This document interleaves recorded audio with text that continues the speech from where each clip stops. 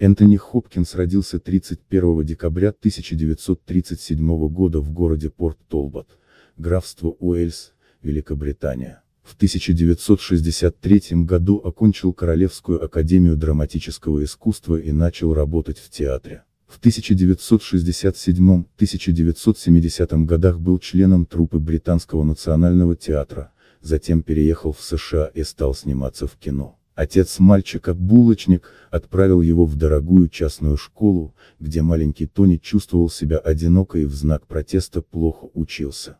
Единственное, чем он, по собственному признанию, занимался, это игрой на рояле и передразниванием учителей. После школы родители отправили сына в колледж музыки и драмы в Кардифе, где его способностям был дан выход.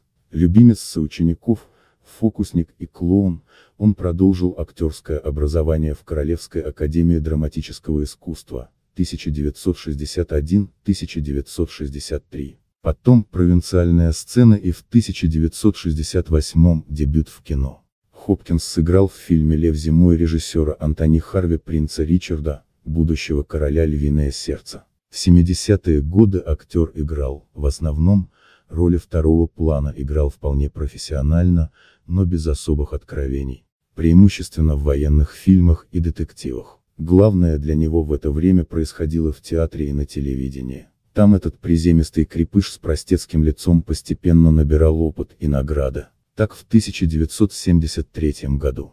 Он был признан актером года за исполнение роли Пьера Безухова в телесериале «Война и мир», а в 1975 получил приз нью-йоркских критиков как лучший актер за роль психиатра Дайзерта, столкнувшегося со странным случаем вандализма в пьесе о шофера Эквус. Постепенно складывался артистический образ Хопкинса, человека неторопливого, основательного, даже несколько медлительного. Его спокойный взгляд и несуетливая манера в равной степени могли стать характеристикой героя и остросюжетного произведения, и сугубо психологического, когда в обоих случаях от актера требуется показать внутреннюю энергию, таящуюся за ординарной внешностью. В 1978 году Ричард Аттенборо предложил Хопкинсу роль в фильме «Магия», до предела заостряющую это напряжение между внутренним и внешним.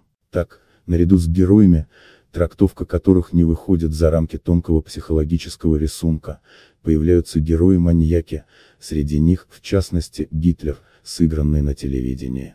И если в фильмах, снимавшихся в Англии, преобладали роли первого рода, то голливудские работы Хопкинса тяготеют к последним. Среди них особую известность приобрел Ганнибал-каннибал в картине «Молчание ягнят», 1991, Реш. Деме, за которого актер получил Оскара. Его персонаж, обладающий ужасной внешностью, впечатление от которой усиливается постоянно надетым намордником, одновременно умен и проницателен, что видно по его глазам. Несколько лет назад Хопкинс, страдавший от алкоголизма, но излечившийся благодаря помощи общества анонимные алкоголики вернулся из Лос-Анджелеса в Англию, где живет со своей второй женой, посвящая свободное время своему любимому занятию – игре на фортепиано. Режиссерская работа Хопкинса, фильм «Август 1995 года» по мотивам произведения Антона Чехова «Дяди Ваня». В 1987 году Хопкинс получил от королевы Елизаветы рыцарское звание. Таким образом были оценены его многочисленные заслуги в искусстве и популяризация Великобритании во всем мире.